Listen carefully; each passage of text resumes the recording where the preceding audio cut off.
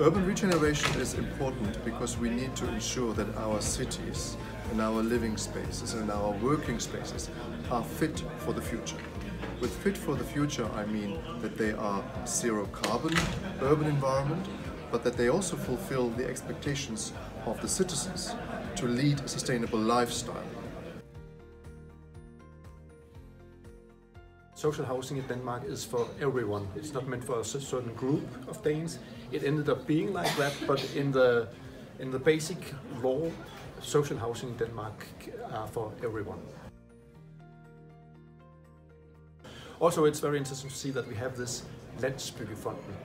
Uh, it's a huge fund that pays for renovation and renewal of social housing. In, in Denmark, when we did the first renovations, we uh, criticized the buildings from the 60s and the 70s for being built too quickly and in poor materials.